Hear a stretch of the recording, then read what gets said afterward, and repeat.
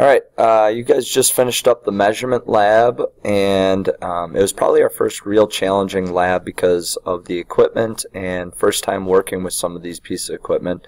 So let's talk about what we should have seen. So to start with, um, you were asked to take a crayon, some clay, and a wooden stick and you were asked to use this device. And we talked about this device and how this is called a triple beam balance. So triple beam balance. And we said that this measures everything in grams alright so all of our measurements are going to be in grams. And you can see here there's a ones and back here is a tens and here is a hundred uh, grams. And we said that there's a little zero that's on the line here. And our goal is to put the items onto the base of the triple beam balance and then adjust the weight getting it to zero and that was our weight and you were asked to record data so you can see in this example um, someone has clay that is up there and so uh, that was the first thing that you needed to do was to measure the mass of the wooden stick, the clay, and the crayon.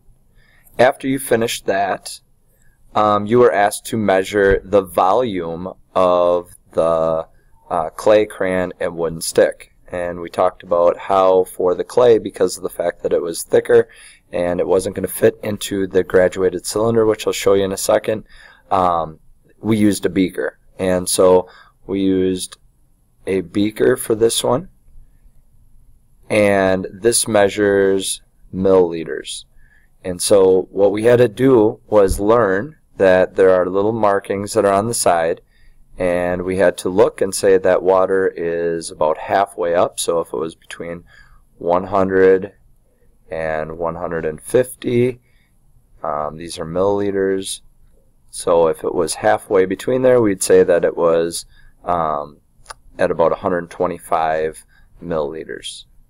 Um, and then you'd have to calculate out what the volume change was. And we gave you a formula that said it was the new volume subtracted by the original volume. And when you subtracted those out, that gave you the volume of the object. Okay, so um, that was how you calculated out the volume. You took the new amount, so if it went up to 125 milliliters and it started off at 100, we'd say that it was a 25 milliliter uh, change, or the water is displaced 125 or 25 milliliters.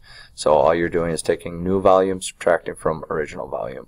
So if we do that example real quick, um, over here we would say that our new volume is at 125 milliliters and we're going to subtract it from the original amount which was at 100 milliliters it would end up being 25 milliliters of volume change okay so that was the second step that you had to do and as I said you would use the beaker for the clay but if you look up here this guy is called a graduated cylinder. And you use the graduated cylinder uh, to for the crayon and um, the wooden stick, and that one had a little bit more specific measurements because um, there were little markings all the way up. And so we used this one um, for smaller objects. When we had to use the clay, we used the bigger one. So you still use the same formula for volume here. You had to take the new volume amount, subtract it from the original amount. So at this point in time, you would have had a mass and you would have had a volume for all three items. And as you were doing that, you needed to make sure that you were recording down the data. And so you can see here's an example of one of our students measuring and recording um, data so you can see that he has um, the mass, the volume, and eventually we'll talk about the density, but he was recording all of those down. So after you had gone through and measured the wooden stick, the crayon and the clay, the mass and the volume, you were asked to calculate out the density. And what we did is we gave the formula for this to you. So what you had to do is take the mass of the object, divide it by the volume, and that gave the density. So density's definition is the amount of mass per amount of volume. So what that really means is that if we have a graduated cylinder,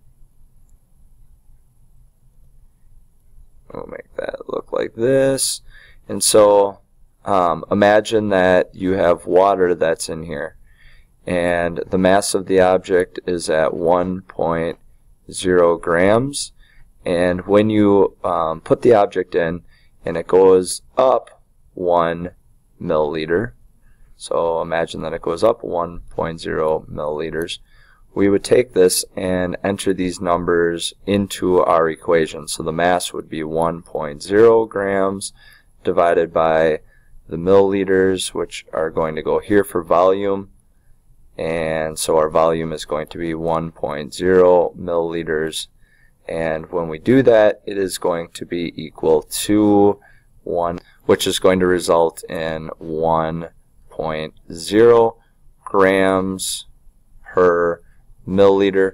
So what that means is that for every 1 gram, it is going to displace the water 1 milliliter upward. So we could ask the same question. Well, what would happen if we had 7 grams? Knowing our information that we now know, is that for every 7 grams it would displace the water 7 milliliters upward.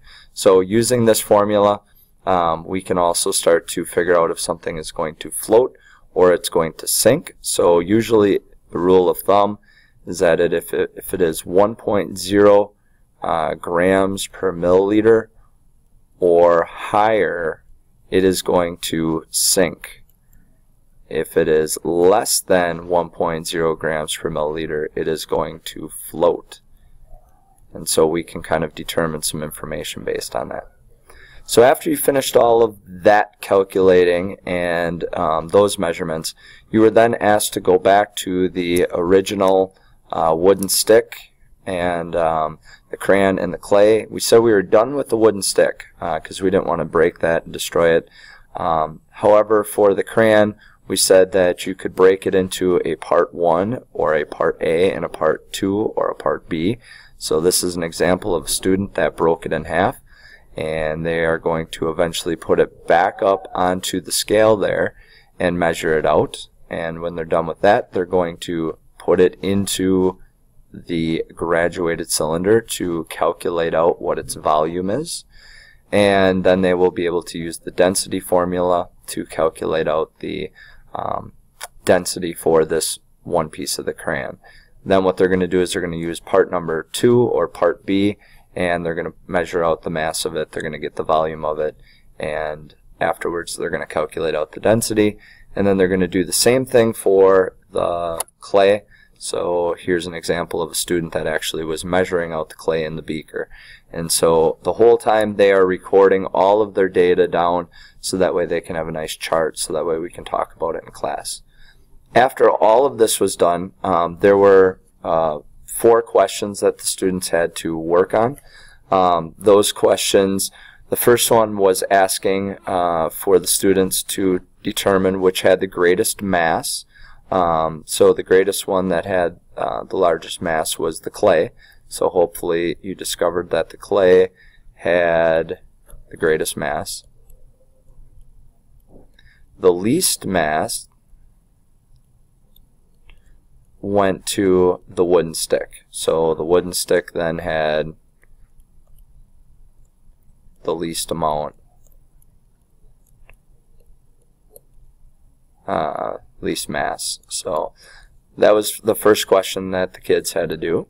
Um, the second thing that you guys had to do was to um, determine uh, a relationship between um, the mass and the density. And so what you should have discovered is that um, the larger the mass, so the larger the mass, the greater the water um, changed or more scientifically displaced which then resulted in um, a greater density. So that was the second one. Uh, third one asked for us to um, determine uh, if you were going to do something differently to the lab. Uh, one of the things that you might have wanted to do was to um, you know, take other objects other than the ones that I provided you for, with or you might have wanted to break the clay down into smaller pieces, um, but basically any type of change that you wanted to make. So this one is your answer. And the final question that you needed to do was to um, determine if you dried the item, um, the items before you uh, measured them again and redid the experiment. So for example, the clay. Um, if you didn't dry off the clay, would that be uh, would that affect your results? The answer is yes. Um, and then most of you discovered that uh, the clay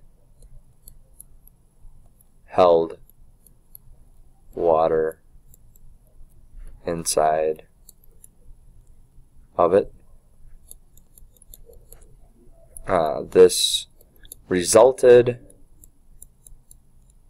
in larger masses and volume change. So obviously if you didn't try the clay, it held some water, which is going to skew the results. Um, so that's the lab, uh, learning how to measure mass, um, figure out volume, and calculate out density. So take a couple minutes, respond to the two questions below the multiple choice um, or the select your answer and then um, the short response. All right, see you in class.